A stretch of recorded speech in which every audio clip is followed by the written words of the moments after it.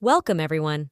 In this specific video, I'll talk about the crucial $200 monthly increase to Social Security, which affects retirement disability, SSDI survivorship benefits, spousal benefits, and SSI payments. I'll also explain why we keep seeing in the media that some people claim that you already know what this video is about. So let's get right in and go over everything. To start, the $200 per month race is by no means a new subject. In fact, over the past several years, we've heard a lot about it.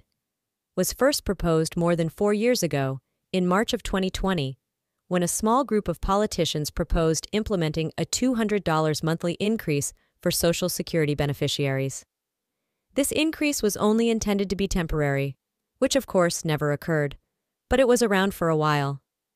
After that, we didn't really hear anything about it for perhaps a year and a half, or maybe two years at most. A while, give or take a tiny amount. In the Senate, Bernie Sanders and a few of his friends sponsored the Social Security Extension Act, which includes an additional $200 monthly increase for 75 years, basically until the end of the century. That's pretty I've noticed that this has been making headlines recently, and I've even seen people commenting below. In fact, I was chatting back and forth with someone down below just the other day. Cool, that's right. We exchanged a number of messages back and forth over this $200 per month rise in the comment section below. One guy said, I already got it. To which I replied, Really, tell me more details about this. They even promised to send you screenshots, which, by the way, manner screenshots of someone else's profit are not something I want to view. Similarly, I don't want to see screenshots of your bank account because that is not information that belongs to me or my firm. I also don't want to see screenshots of your personal data. Any personal information, okay. But anyhow, I had repeated conversations with this person in which we discussed the $200 monthly raise. They responded, Hey, I already got it. To which I replied, Okay, let's talk to the details more about this, and again, exactly. The reason I want to bring this up is that I've read stories about it, and every day when I conduct research, they keep saying, Yep, some people have actually got this. All right, let's go over the specifics and look at what is truly going on. Happening here, which, by the way, if you haven't already, please do yourself a great favor and subscribe below. It's completely free to do so. The big subscribe button is down there. I'm here to you every day, conducting all the research and discussing. Through specifics like this, responding to your inquiries, speaking up for you, and doing everything I can to support you at this difficult time. The past several years have been difficult. Let's face it, the financial struggles of low income and fixed income beneficiaries are not in a good situation at the moment. You are aware of this because you have read all the papers, research, and polls on the subject, and you are living it day in and day out.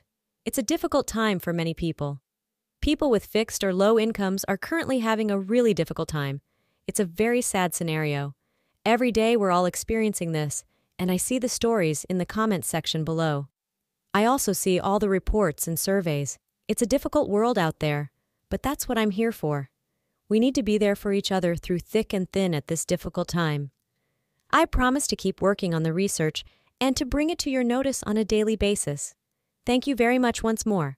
Please subscribe if you're here, and let's go into the specifics.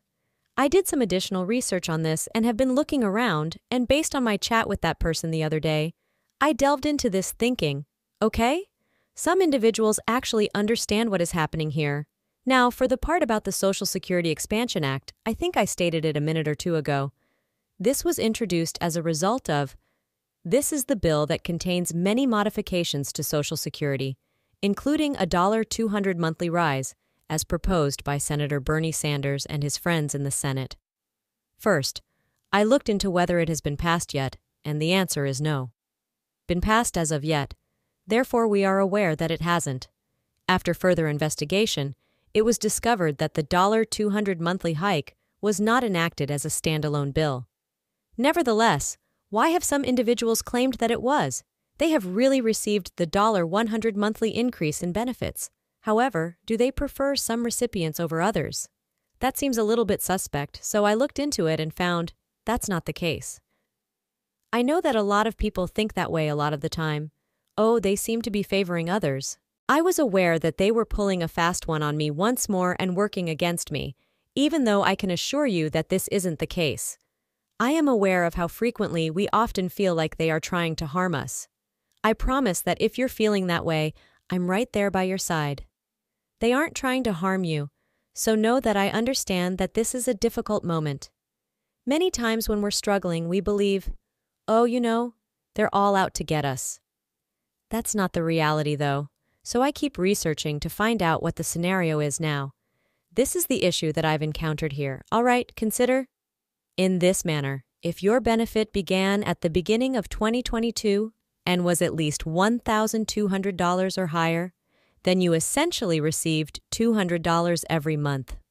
All right, so pay attention to this because it's actually quite interesting. Month raise, in fact, you received more than that. However, let me clarify the specifics first. Beginning in 2022, we received a 5.9% COLA. In 2023, we received an 8.7% COLA. And in 2024, we received a 3.2% COLA. The cumulative 5.98.73.2 COLAs over the course of these three years equal little under 18%. I know it's absurd, but in three years, we've gotten almost there. Nearly actually, it's not quite 18%. It's just under, precisely 17.8%. These add up to, so over the course of three years, we saw a 17.8% increase in revenue due to the COLA.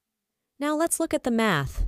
As I mentioned a moment ago, if your benefit was at least $1,200, applying a 5.9%, 88.7%, and then a 3.2%, or nearly 18% increase over the course of 2022. Yes, benefits increased as a result of the COLA, which in this case was over 200. Therefore, anyone who applied for 2022 would have received a benefit of at least $11,200 throughout that period. With the COLAs and compounding, yes, it translated into an increase of over 200 per month. However, this does not account for, sorry, ignores, the decreases in Medicare premiums that resulted from that. Recall that a few years ago, Rose, um, what was it? $14 and a few pennies decreased by 3% a year ago, and this year it increased by an additional $9. Oops! Sorry, just under $10 $9.80 is the amount it went this year for 2024. All right, so it's not accounting for those reductions. But in actuality, over the last three years, some people have received rises of $200 per month, and for the majority of beneficiaries, much more than that. If, therefore, your benefit was less than $1,200 in 2022, then yes, you also received COLA increases, but they weren't quite, uh, at the level of $200 or more. Does that make sense? Well, yes, this did happen for some people, and their benefits did rise significantly over the previous few years due to the COLA. So here's where it gets interesting. Some people are coming out and claiming, hey, I got a $200 raise. But it's not really true that they aren't telling the truth. In actuality, we're talking about two completely distinct things here. Both the $200 raise from the Coca-Cola and the $200 raise that came about as a result of the Social Security Expansion Act. In general, they're both about the same thing. They both happened and produced at least $200 for a lot of people for the majority of people on a monthly basis. But it's still two distinct things. So when you see headlines or people in the public eye stating that a lot of beneficiaries have already received $200 rises, well, that is true for some of them. It seems reasonable that people would be affected by the COLA rather than by the changes to benefits that Bernie Sanders and his allies seek to make as a result of the Social Security Expansion Act. However, after doing more research, I discovered that this is what it all comes down to whether the $200 raise from the Coke is genuinely coming from them, not whether they passed a raise of $200 per month for everyone. That makes sense, but you have to kind of read between the lines with all of this. Which is why I investigated the matter further, because I felt that it was necessary to determine why certain individuals were receiving raises while others were not. It's not giving some people advantages. It's not, you know, excluding some individuals, and declaring you receive a raise and you don't. The COLA is to blame, not the situation at all. Every year, Over 71 million beneficiaries receive the COLA, and the benefits are applied automatically. Nevertheless, there are many instances in which we are unaware of this because of the Medicare. This is all I have for you right now, and I hope it helps you better. PRB premium sucks it all up. And then we don't even know that CO occurred in the first place because it's all gone and went to Medicare PBR premium.